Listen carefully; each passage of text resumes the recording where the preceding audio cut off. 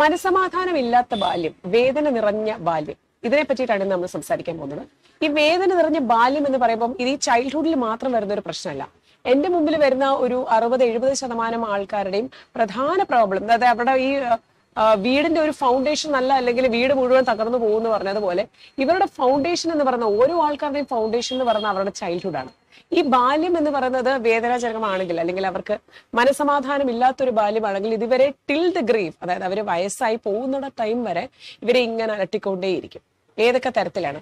നമ്മളിപ്പോൾ മനസ്സിൽ വിചാരിക്കുന്നുണ്ടാവും physical torture മാത്രമാണ് ഈ വേദനയുടെ ഒരു ലിസ്റ്റിൽ പെടുന്നതെന്ന്. ഒരിക്കലുമല്ല. Number one is broken family victims അതായത് പല കുഞ്ഞുങ്ങളും രാവിലെ എഴുന്നേൽക്കുമ്പോൾ മുതൽ അതായത് കണ്ണ് തുറക്കുമ്പോൾ മുതൽ അച്ഛന്റെയും അമ്മയുടെയും ചീത്ത വിളിയും ചീത്തവിളിയും അങ്ങോട്ടും ഇങ്ങോട്ടുമുള്ള ഇടിയും അടിയും അവരുടെ ഈഗോ ക്ലാഷും ഇതൊക്കെ കണ്ടിട്ട് ഉണരുന്ന പല കുട്ടികളുമുണ്ട്. നമ്പർ ടു അഡിക്റ്റഡ് ആയിട്ട് അതായത് സ്മോക്കിംഗ് ഡ്രിങ്കിങ് ഡ്രഗ്സ് ഇതേപോലത്തെ കാര്യത്തിൽ അഡിക്റ്റഡ് ആയ പേരൻസിന്റെ അബ്യൂസീവ് ആയിട്ടുള്ള ലാംഗ്വേജ് കേട്ട് ഉണരുന്ന കുട്ടികളുണ്ട്. നമ്പർ ത്രീ ഫിനാൻഷ്യൽ പ്രോബ്ലംസ് വല്ലാണ്ട് അലട്ടി ആ, വഴക്കുകളും കാര്യങ്ങളും ഒക്കെ ഉള്ള അത് കേട്ട് ഉണരുന്ന കുട്ടികളുണ്ട്. പക്ഷേ പക്ഷേ ഇവിടെ ഒരു ചെറിയൊരു ക്ലോസ് ഉണ്ട്. ഫിനാൻഷ്യൽ പ്രോബ്ലം ഉണ്ടെങ്കിലും ഒരു മുറിയിലാണെങ്കിലും അവിടെ സമാധാനത്തോടു കൂടി സന്തോഷത്തോടു കൂടി കഴിയുന്ന അച്ഛനമ്മമാരാണെങ്കിൽ ഈ കുഞ്ഞുങ്ങളെ ഇതൊന്നും എഫക്ട് ചെയ്യില്ല. ഒരു മുറിയിലാണെങ്കിലും കഞ്ഞി കുടിച്ച് കഴിയുകയാണെങ്കിലും അവിടെ സമാധാനവും സന്തോഷം ഉണ്ടെങ്കിൽ ഇതൊരു വിഷയമല്ല. കേട്ടോ? ഞാൻ പറയുന്നത് ഫിനാൻഷ്യൽ പ്രശ്നങ്ങൾ സ്വന്തം ലൈഫിനെ ബാധിച്ചിട്ട് തന്നെത്താൻ അങ്ങോട്ടും ഇങ്ങോട്ടും ഇടിയിടുമ്പോൾ ഇതിന്റെ ഇടയ്ക്ക് കിടന്ന് ഞെരുങ്ങുന്ന കുഞ്ഞുങ്ങൾ. തേർഡ് കാറ്റഗറി നമ്പർ ഫോർ പഠിക്കാൻ ഡിസബിലിറ്റീസ് ഉള്ള കുഞ്ഞുങ്ങളെ ബന്ധുക്കളുമായിട്ട് അങ്ങോട്ടും ഇങ്ങോട്ടും കമ്പയർ ചെയ്ത് അല്ലെങ്കിൽ സ്വന്തം ക്ലാസ്സിലുള്ള കുട്ടികളുമായിട്ട് കമ്പയർ ചെയ്ത് ഇവരുടെ ബാല്യം ഒരു ഹെല്ലാക്കുന്ന parents number five body shaming അതായത് ജന്മനാലിൽ തന്നെ ചില കുഞ്ഞുങ്ങൾ തീരെ മെലിഞ്ഞിട്ടായിരിക്കാം. ചിലപ്പം ഇന്റേണൽ ഓർഗൻസിന് എന്തെങ്കിലുമൊക്കെ ഇഷ്യൂസ് ഉള്ള കുഞ്ഞുങ്ങളാണെങ്കിൽ തീരെ മെലിഞ്ഞിട്ടായിരിക്കാം. ചില കുട്ടികൾക്ക് നല്ല വണ്ണം ഉണ്ടാവാം. ചില കുട്ടികൾ നല്ലവണ്ണം കഴിക്കുന്നുണ്ടാവാം. ചില കുട്ടികൾക്ക് തീരെ ഉറക്കം കാണില്ല. അപ്പൊ പല തരത്തിലാണ് അപ്പൊ ഇതെല്ലാം അച്ഛനെയും അമ്മയും ഇറിറ്റേറ്റഡ് ആക്കിയിട്ട് ഇവർ വഴക്കിടുന്നു ഇങ്ങനെ പല പല പല കാറ്റഗറീസിലാണ് കുട്ടികൾക്ക് അവരുടെ ഒരു ചൈൽഡ്ഹുഡ് എന്ന് പറഞ്ഞാൽ ട്രോമാറ്റിക് ആയിട്ട് മാറുന്നത്. അപ്പൊ ഇതൊക്കെയാണ് വേദന നിറഞ്ഞ പല പല ഏരിയാസ് കുഞ്ഞുങ്ങളിൽ വരാൻ സാധ്യതയുള്ള കാര്യങ്ങൾ. അപ്പൊ ഇതുമായി ബന്ധപ്പെട്ടിട്ട് ഈ ഒരു തരത്തിൽ നിൽക്കുന്ന കുട്ടികളാണെങ്കിൽ ഭാവിയിൽ അവർ അഡൽസ് ആവുമ്പോൾ അഡോളസന്റ് ഏജിലേക്ക് പോകുമ്പോൾ ഇവർക്ക് എന്തൊക്കെ പേഴ്സണാലിറ്റി ഡിഫക്റ്റുകളാണ് വരുന്നത്? ഒന്ന് നോക്കാം. നമ്പർ വൺ ഇവർ രണ്ട് എക്സ്ട്രീമിലേക്ക് പോകും. അതായത് ഒന്നിൽ ഇവർ വളരെയധികം ഇൻട്രോവേർട്ട് ആയിട്ടുള്ള ഒരു നേച്ചർ ആവും. അല്ലെങ്കിൽ അവർ വളരെയധികം എക്സ്പ്ലോസീവ് ആയിരിക്കും. അതായത് അവർക്കൊരു മീഡിയം ലെവലിൽ ബിഹേവ് ചെയ്യാനുള്ള ഒരു സാധ്യത വളരെ കുറവാണ്. കാരണം തന്റെ കുഞ്ഞുനാളത്തെ ഏജിൽ ഒന്നിൽ അച്ഛനോ അമ്മയോ ഒന്നിൽ അമ്മയുടെ കരച്ചിൽ അച്ഛന്റെ വയലൻസ് അല്ലെങ്കിൽ അമ്മയുടെ വയലൻസ് അച്ഛന്റെ സൈലൻസ് ഇത് കണ്ടു വളർന്നത് കൊണ്ട് ഇവർക്ക് ഒരു മീഡിയം റേഞ്ചിൽ റിയാക്ട് ചെയ്യാൻ വളരെയധികം ഇവർക്ക് സാധ്യത കുറവാണ്. ഇപ്പം ഞാൻ ഈ പറയുന്ന ഏതെങ്കിലും ഒരു കാറ്റഗറിയിൽ നിങ്ങൾ ആരെങ്കിലും ഉണ്ടെങ്കിൽ definitely yes you will need a counselling ഒരു ലിമിറ്റ് കഴിഞ്ഞാൽ നിങ്ങളുടെ പാർട്ട്ണറിനെ എല്ലാം അത് ബാധിക്കും. കാര്യം ടീനേജിൽ കുഞ്ഞുനാളിലെ ടീനേജിൽ ഇത് കണ്ടാണ്. രാവിലെ എഴുന്നേൽക്കുമ്പോൾ തന്നെ മനസ്സമാധാനമില്ലാതെ എവിടോട്ടെങ്കിലും ഒന്ന് ഓടിപ്പോയാൽ മതി എന്നുള്ള ഒരു രീതിയിലാണ് ഇവർ എഴുന്നേൽക്കുന്നത്. ദിവസം മുഴുവൻ ഇവർ ഇവരെ തന്നെ കേഴ്സ് ചെയ്തിട്ടാണ് നിൽക്കുന്നത്. അപ്പം അങ്ങനെ വരുമ്പോൾ ഓട്ടോമാറ്റിക്കലി ഇവർക്ക് ഈ രണ്ട് എക്സ്ട്രിമിറ്റിയിലേക്കാണ് ഇവരുടെ ഒരു ബിഹേവിയർ പോവുക. Number two the feel isolated ചുറ്റിനും ആൾക്കാരുണ്ടെങ്കിലും ഞാൻ ഒന്നിനും കൊള്ളില്ല. എനിക്ക് എന്തൊക്കെയൊക്കെയോ കുഴവുകളുണ്ട് എന്നെ കൊണ്ട് പല കാര്യങ്ങളും എനിക്ക് സാധിക്കില്ല. യഥാർത്ഥത്തിൽ ഇങ്ങനത്തെ യാതൊരു പ്രോബ്ലംസും ഇല്ല കേട്ടോ. ആൾക്കാർ ഇവരെ അംഗീകരിക്കാതിരിക്കുന്നില്ല. ഇവർക്ക് യാതൊരുവിധ പ്രശ്നങ്ങളും ഇല്ല. പക്ഷെ ഇവരുടെ ഉള്ളിലെ ഈ ഒരു ഇൻഹിബിഷനാണ് കാര്യം കുഞ്ഞുനാളിൽ ഇവർ കണ്ട കാര്യങ്ങളിൽ വെച്ച് ഇവർക്ക് ഒരിക്കലും ഇവരിൽ തന്നെ ഒരു കോൺഫിഡൻസ് ഇല്ലാതാവും മനസ്സിലായോ? ഇവരെ സ്വയമേ ബ്ലെയിം ചെയ്യും. ആർക്കും ആർക്കും എന്നെ ഇഷ്ടമല്ല. എനിക്ക് എന്തൊക്കെയൊക്കെയോ പോരായ്മകളുണ്ട് എന്നുള്ളൊരു രീതിയിലാണ് ഇവർ ഇവരെ തന്നെ റിഫ്രെയിം ചെയ്യുന്നത്. നമ്പർ ത്രീ ഒന്നിലും ആരെയും വിശ്വാസമില്ലാത്ത ഒരു പ്രകൃതമായി മാറാറുണ്ട്. ഒരു എഴുപത് ഞാൻ ഈ പറയുന്നത് നൂറ് ശതമാനം എന്നല്ല പക്ഷെ എഴുപത് ശതമാനം ആൾക്കാരും അങ്ങനെയാണ്.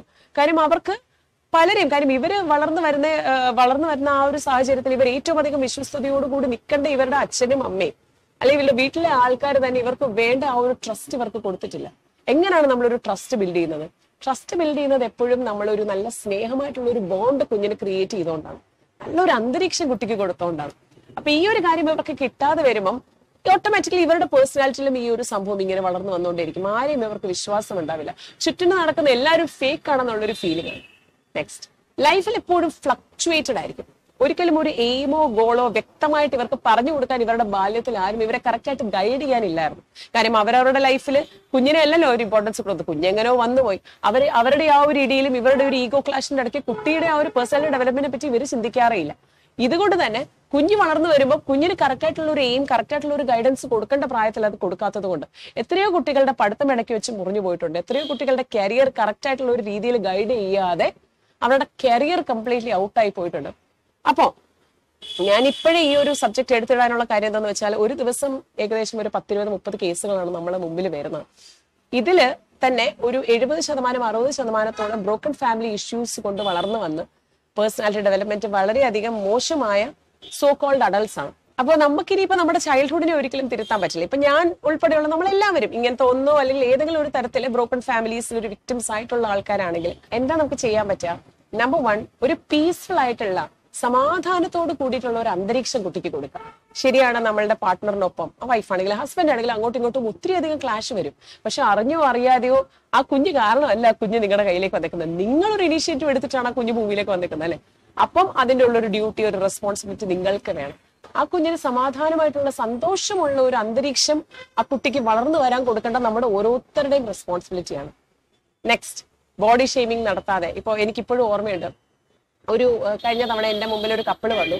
ആ അവർക്കൊരിക്കലും അവരുടെ ലൈഫ് എൻജോയ് ചെയ്യാൻ പറ്റിയിട്ടില്ല. വന്ന ആദ്യത്തെ മാസം തന്നെ കുഞ്ഞായി എന്ന് പറഞ്ഞിട്ട് അവർ അവരെ ബ്ലെയിം ചെയ്തുകൊണ്ട് ജസ്റ്റ് ഒരു ടു ഡേ കൗൺസിലിംഗ് വേണ്ടി വന്നുള്ളൂ.